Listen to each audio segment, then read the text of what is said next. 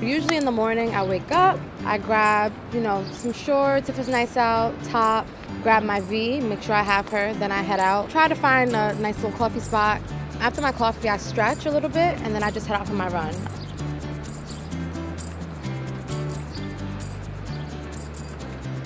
I love coming to Central Park to run. It's just, you know, beautiful, beautiful park. I'm a social runner. I like running with people, love talking to them, motivating them.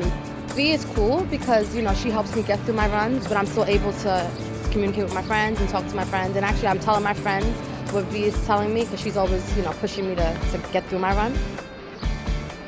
I'm running for health reasons. Um, I'm running for the people who can't run. I'm running for all women. running for my children.